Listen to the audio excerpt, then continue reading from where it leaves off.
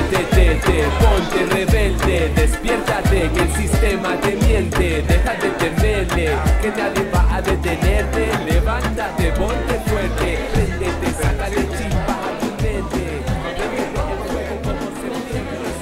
Bueno, buenas tardes, compañeros, compañeras, hermanas, hermanos. Ah, habitualmente allá en Bolivia siempre saludamos así, hermanos, hermanos, hermanas, porque allá nos sentimos todos hijos de Pachamama, todos hijos de la Madre Tierra.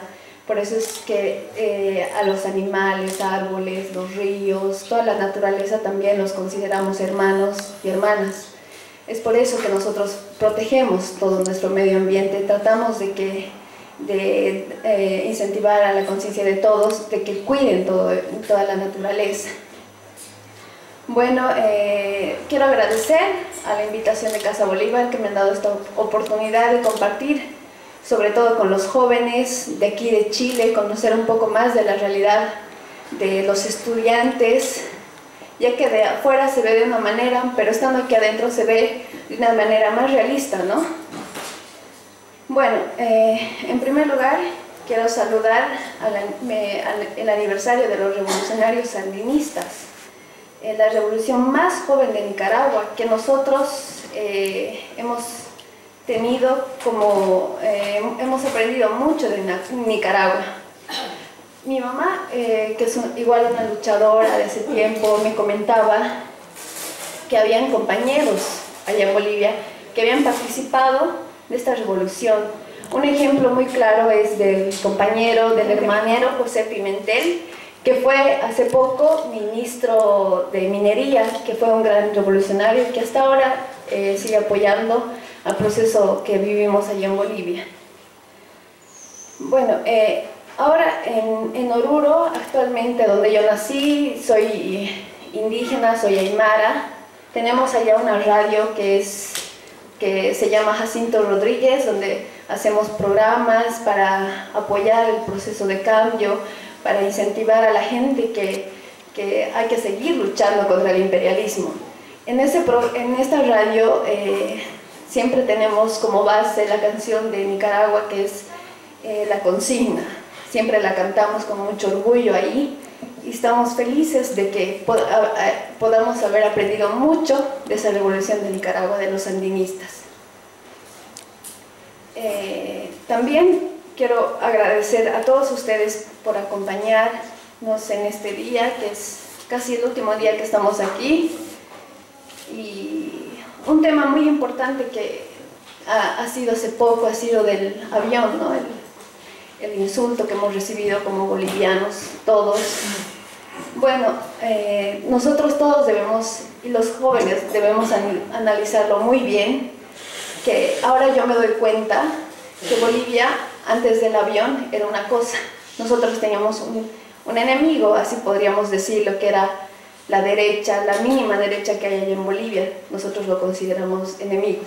Pero ahora nos damos cuenta, después de ese suceso, que el verdadero enemigo y principal enemigo es el imperialismo. Estados Unidos, todo ese neo- neoliberalismo. Y tenemos que estar preparados para todos, para todo esto. Con, con lo que ocurrió en el, en el avión presidencial nos dejaron un mensaje muy claro, que están ahí y que vienen a Latinoamérica a destruirnos, que esa es la principal intención, que quieren volver eh, a someternos, pero no, nosotros todos tenemos que estar preparados para lo que venga.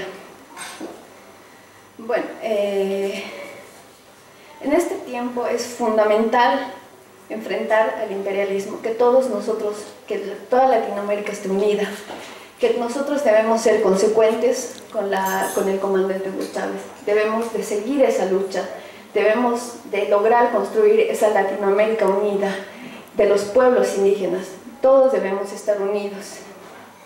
También es importante la participación y unidad de todos los jóvenes de los pueblos indígenas, de todos los jóvenes de Latinoamérica, porque no puede pensarse en el siglo XXI sin la participación, sin el aporte de los jóvenes, que es lo más importante ahora y que yo me llevo una gran enseñanza de Chile, que es lo más importante la participación de los jóvenes. Me llevo es- este mensaje allá a Bolivia para todos nuestros jóvenes para que salgan a defender la patria, que salgan a defender la unidad de los pueblos y su independencia. Gracias.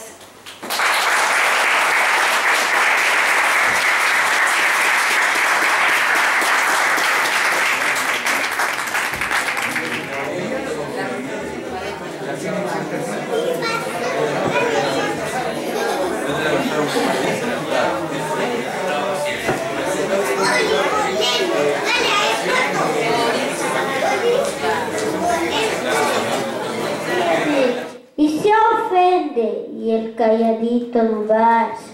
Pero guarda el que le trampea, pero guarda el que le miente, porque mi pueblo no es tonto, porque mi pueblo es valiente, porque mi pueblo algún día, cuando la sangre reviente, habrá de salir con un fusil en la frente. Y entonces no habrá más niños durmiendo bajo los puentes, ni obreros, ni campesinos, Siempre habrá...